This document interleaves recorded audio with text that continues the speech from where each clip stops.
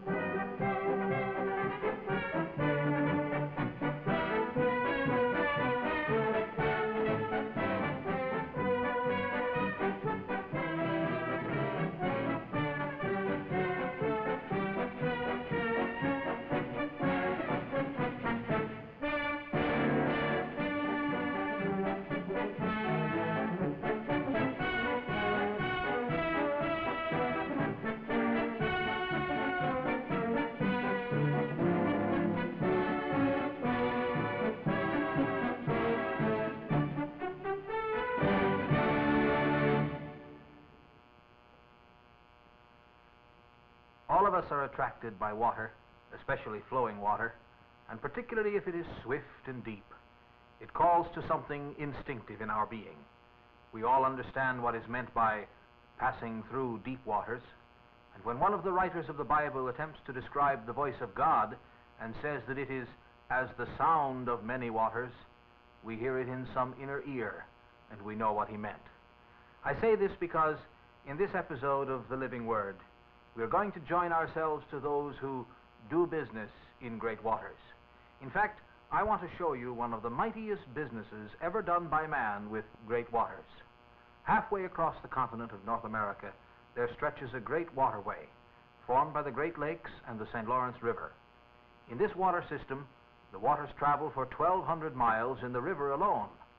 This is the distance from Lake Ontario to the Gulf of St. Lawrence.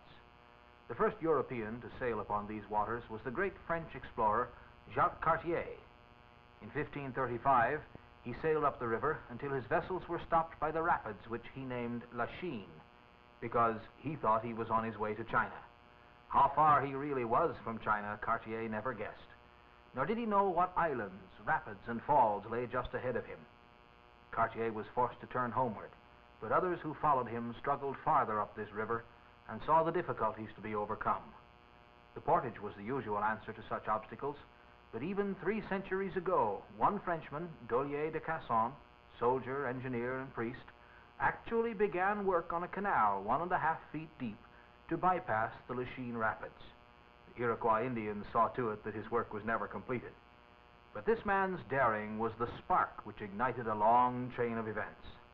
You know now, of course, that I am speaking of the St. Lawrence Seaway and Power Project, which for five years kept thousands of men, both Canadian and American, occupied in doing business with great waters. The Long Sault Rapids was one of the difficulties, and the first men were the survey crews who found the answers to the questions which engineers must know. Surveys ashore were not enough, and the secrets of the river were attacked from the air. Hovering overhead in a helicopter, men computed the depth of the river by lowering a weight into the rushing waters below. And from this information, maps and models of the terrain were constructed. As a wind tunnel serves the air engineers in designing a plane, so this model of the Long Sault Rapids and this model of the riverbed itself enabled the engineers to construct the great dams and dig their channels. Typical of the work carried on is that in the vicinity of the town of Iroquois, where two cofferdams were built, the one above and the other below the site of the proposed dam. These cofferdams are great temporary dams built to enable foundations to be laid or other construction operations to be undertaken on a site which is normally underwater. The Iroquois Dam is located in a bend of the river. The south half was built on the shore, and then the entire original shoreline was removed, and the half on the north shore was constructed. It must be remembered that a tremendous hydroelectric power project was undertaken along with the shipping development. The cofferdam at the powerhouse site was constructed of adjacent cells whose continuous outside walls are strong enough to withstand the tremendous outside pressure from the water rushing past. This one consists of 60 cells, each one 65 feet in diameter. The entire cofferdam was 4,500 feet long. Here we see the anchoring of the cells by sections in the riverbed. Each cell is then filled with earth and rock so that it will withstand the pressure upon it. When the water is pumped out of the area, the riverbed is dry, as you see, so that trucks and men can work on dry land where once the river flowed. For 35 miles from the town of Cornwall to that of Iroquois, the river's flow was thus deflected from its normal channel. The waters rising in a head pond would result in the covering of 20,000 acres of land on the Canadian side of the river. Along the shore, great dikes of clay were erected to contain the water. The whole undertaking requiring the cooperation of many activities if mishap and disaster were to be avoided.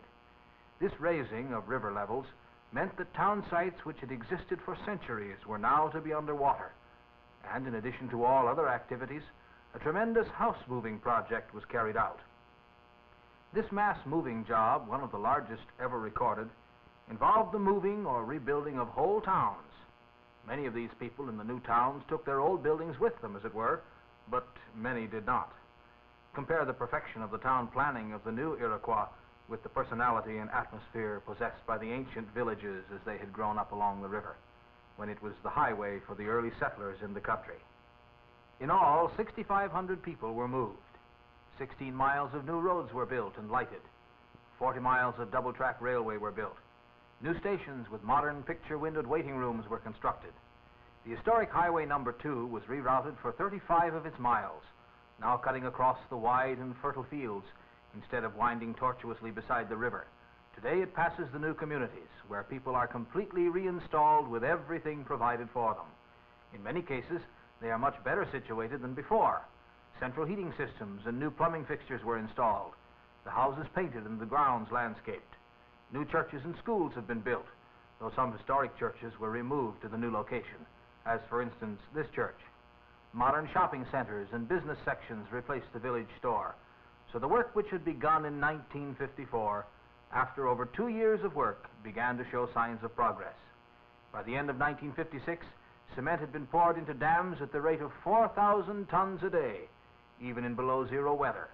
The closing of the gap in the Long Sault Dam seems to symbolize the approaching mastery of the river. Feverish activity prevailed as tons of rock poured into the river at this point. Slowly the rapids began to disappear. Dredges bit and gouged at the earth to divert the flow of water. Another cofferdam was erected to seal it off, until at last the riverbed was dry, and the Long Sault Rapids, which had sung their songs of swiftness for long ages past, were silent at the hand of man. Silent they shall remain, but not dry. For nearly two years, the riverbed lay exposed, suffering the ravages of construction, the installation of turbines and generators for the power station rising there. Then came the restitution. Thirty tons of explosives were loaded at the point where the River Control Center stood. On July 1st, 1958, the countdown took place. The cofferdam was broken, and angry at their long displacement, the waters rushed into their place again. At long last, the dreams of many men are to be fulfilled. A passageway for ships into the heart of a continent is a reality. With a minimum depth of 27 feet, it reaches from Montreal to bring ships of all nations to seaports. Yes, seaports now in Minnesota, Illinois, and Ohio. Small boys on the docks in Indiana may now talk to sailors on their ships from Tokyo and Singapore. Men, by the good mercy of God, have done great business with great waters. Where rapids had sung an intermittent melody, the whole seaway moves now like a sea fugue writ from east to west. This seaway, stretching far from view, recalls the words of John Keats. the moving waters at their priest-like task of pure ablution round earth's human shores. For in its beauty and its power, the waters of this pathway speak of the purity and greatness of God. The psalmist said, They that go down to the sea in ships, that do business in great waters, these see the works of the Lord and his wonders in the deep.